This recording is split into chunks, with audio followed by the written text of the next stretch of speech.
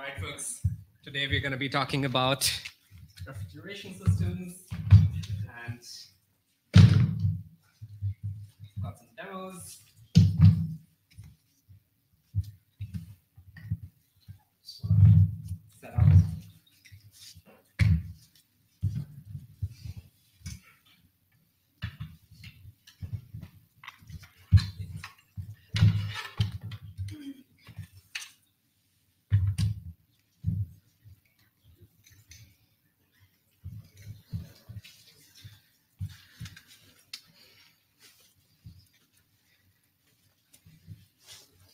All right. So before we begin, I kind of want to take a photo of all of you with a thermal camera.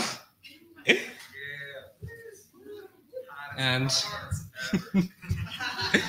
and yep, just as I thought. It's a pretty hot audience out here. um, all right. So I'm Amitabh Srivastav, and today I'm going to be talking about Refrigediro, which is an attempt to uh, open source refrigeration systems. But I want to begin with a story. So it's a warm summer morning. Before you wake up, your house starts cooling down. But there are no air ducts, no drafts. The refrigerant running through the walls simply cools the entire house down. You head down to the kitchen and open the fruits cabinet. You chuckle as you think that not too far back, all of the refrigerated food in a house used to be kept in the same thing called a refrigerator. How funny. Um, different things need different temperatures and humidity. Um, every cabinet, cabinet is its own temperature control environment. You head to your water purifier that has two tanks, one for cold water, one for hot water. It takes the heat from the cold side, puts it to the warm side. Makes sense, right? Efficiency. you head down to the patio, and as you sit down, the patio furniture cools down to the perfect temperature.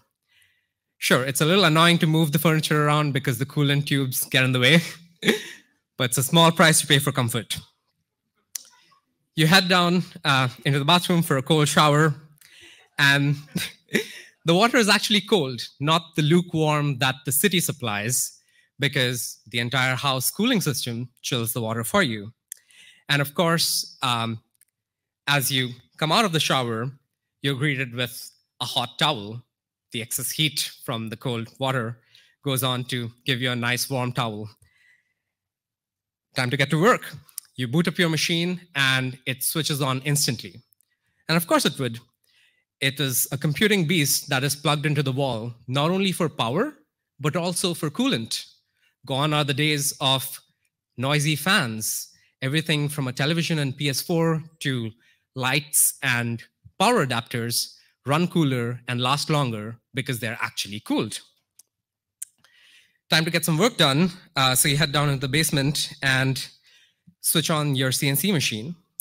The water-cooled spindle uh, makes a slight humming noise.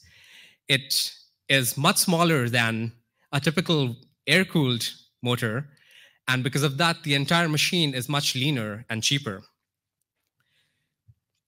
Time to head out for coffee. You pick up your jacket that has a phase change material in it.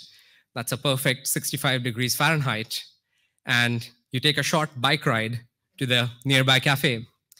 As you dock your bike into the, uh, into the cafe, the bike starts recharging and the coolant uh, from the cafe cools down your battery, increasing battery life and charging rate. As you dock your jacket back um, inside the cafe, the uh, as you uh, put your jacket on the coat hook at the cafe, the coolant line starts recharging the phase change material and for your journey back out. Now the question is, where you're gonna head next? so this, the story of a weird, uh, fun refrigeration future was kind of thought up um, by my friend Aaron and me. Aaron is a third generation HVAC technician with more than 15 years of experience in industrial um, HVAC and refrigeration.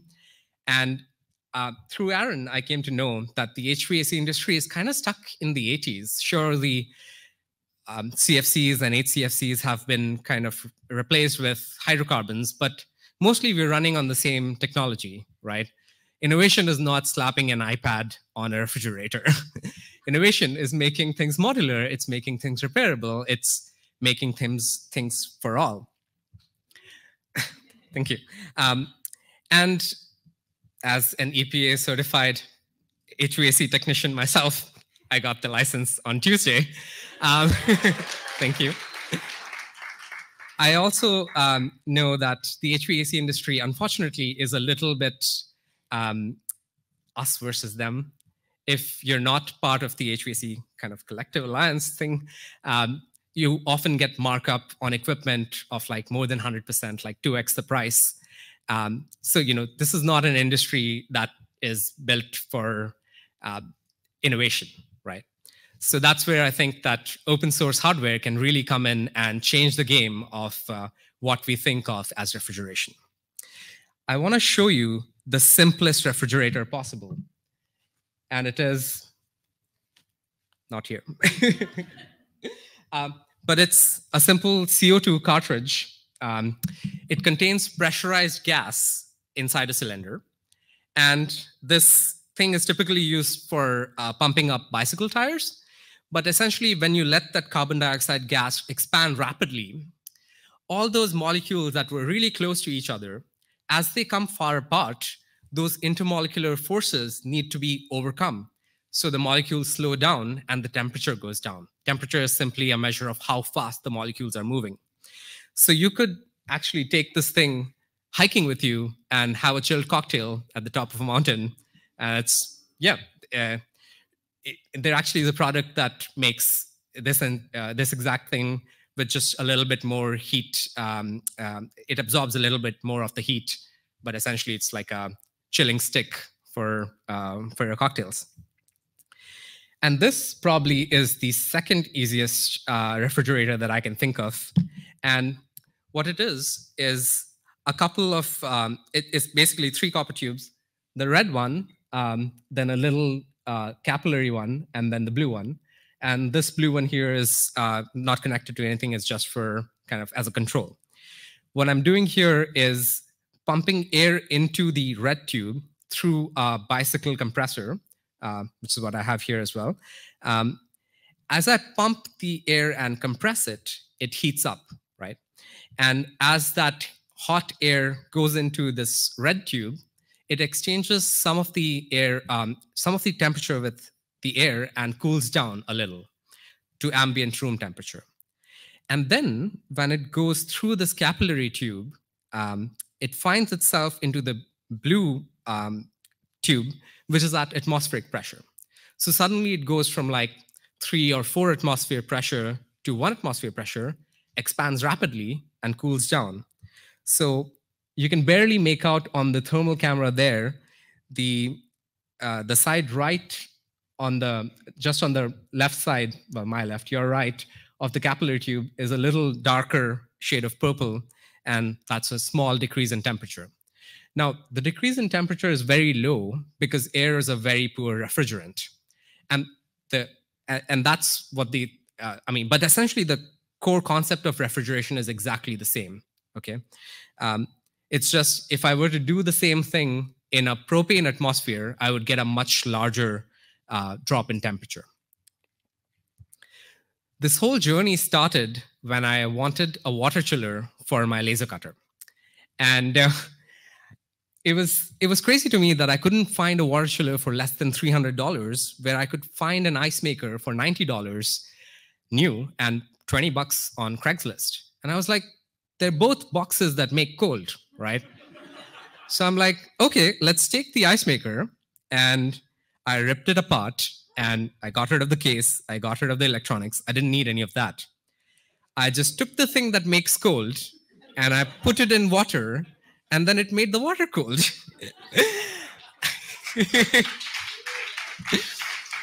it was really as simple as that. the, the thing on top is called the evaporator, and it typically makes the ice cubes. I just carefully bent the copper tubes, making sure not to kink it so that um, uh, the, the, the tube ruptures and the refrigerant leaks out. But I just did that, and I made an Instructable about it, uh, sharing the process. And Roger uh, on Instructables made one of his own. In fact, he made some improvements. And I was, you know, wow, this is amazing. Like, you know, you can make uh, a water chiller for like less than a hundred bucks. In fact, I took this water chiller and then um, I bought a cover for my mattress that had just a bunch of silicone wire, uh, silicone tube going around it. So I can pump this cold water through the silicone tube and you know have a chilled mattress and it worked really well in fact it worked so well that my partner asked me to remove it because it was too cold which i count as a win but you can imagine uh, that you can uh, very quickly take the system and add temperature sensors uh, humidity sensors to make sure that you're keeping the mattress slightly above the dew point, not to get any condensation. You can set up zones uh, so that you know different uh, parts of the mattress are at different temperatures. And you can do this entire thing for less than 300 bucks, which is about the tenth of the price of what you can buy a cooled mattress for, which is great. So now that we uh, have you know seen some of what uh, what makes a refrigerator, let's actually have a look at uh, the full refrigeration cycle. And this is uh, the most common kind of refrigerator that you would find in your um, in your kitchen refrigerator or at the supermarket um, chiller. At the very bottom is a compressor. So it compresses refrigerant gas and makes it very high pressure. So on the on the left side, we have the low pressure system, and on the right side, we have the high pressure system. So the compressor takes in low pressure vapor and then puts out high pressure vapor, which is very hot because you're compressing it and it heats up. Um, and that goes into the condenser, which is a big radiator on your kitchen refrigerator. It'll be on the back. And there, the hot uh, vapor just cool down to, cools down to ambient temperature. And typically, refrigerants liquefy at that temperature. And that's what makes refrigerants special, is that at ambient temperature and high pressure that the compressor provides, they become liquid. They go through a dryer, uh, which is there just to remove any moisture because moisture can be very corrosive, um, and then goes through a capillary tube, which is very similar to the capillary tube that we have here uh, in between the red and the blue tubes. And that's there just to maintain that pressure difference between the high side and the low side. Now, this um, liquid refrigerant, as it goes through the capillary tube and finds itself in the low pressure environment, again, it just rapidly expands, starts boiling off, and it needs energy to boil, right? And it takes that energy from whatever is inside the refrigerator, making it cold. So now that we've seen uh, uh, this uh, this refrigeration cycle, right? Most of it, the top part is like on that chair in front of you. Like it's very simple. It's plumbing, right? But to me, the compressor still feels like black magic. It feels like it's doing something to make things cold that you know I don't understand. So a compressor is a black box, and what do we do to black boxes? we take an angle grinder to them. and so we did, and that's how I ended up with compressor choreography. This little cute art project that um, is is the guts of um, an ice maker compressor. And most of it is just a motor. Um, this piston that I have my finger on right now, that's moving up and down, that's the compressor part of the compressor. It's this tiny little thing that's just moving back and forth and some steel valves that take in, you know, vapor and compress them. No black magic, you know. If you can take apart a chainsaw engine, you can you know, uh, probably refer, reverse engineer it to make something very similar. Um, and uh, yeah, a bicycle pump is the same kind of compressor as what is inside your ice maker. And finally, to talk about the pièce de résistance, uh, the backpack refrigerator. The backpack refrigerator um, was something that Aaron and I made over a weekend, like literally, for the new lab um, open house party um, eh, last year. And you can sort of tell that it was made over a weekend, right? it, it's not pretty, but it works. And it cools a single bottle of liquor, um, which is pretty cool. But the point that we were trying to make uh, with, with the backpack was that you can, uh, if, if you know how to, it's very easy to make a DIY refrigerator. Um, and it does not have to take a long time. It does not have to take a lot of resources. So let's get creative um, with our refrigeration ideas and let's kind of get together. So refrigeration is, uh, it, it is a dangerous hobby. You're dealing with high pressure, sometimes caustic chemicals. Uh, so I would not suggest that you go out and like, you know, just start taking apart ice makers. But I think the best parallel that I can draw is ham radio, right? same as uh, with refrigeration, you're dealing with something that's very dangerous, but there's a community um, and there are um, educational tools and set ways to get inculcated into the field. But then once you're there, you can make some very incredible things. So I would like the same to happen for refrigeration systems. And by the way, I want to shout out Josh Levine. Uh, hi, Josh who has been uh, making videos on refrigeration systems for a very long time. And I didn't realize that he's based out of Brooklyn as well. And I've learned a lot from his videos. So thanks, Josh. And yeah, uh, for some reason, people really love the backpack refrigerator. And you know, if this is what takes uh, what it takes to get people excited about refrigeration systems, then sure, you know, let's let's have a party. Let's all come together and make backpack liquor chillers.